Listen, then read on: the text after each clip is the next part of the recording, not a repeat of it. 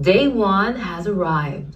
So quiet down, grab some popcorn, turn off your cell phone, and above all,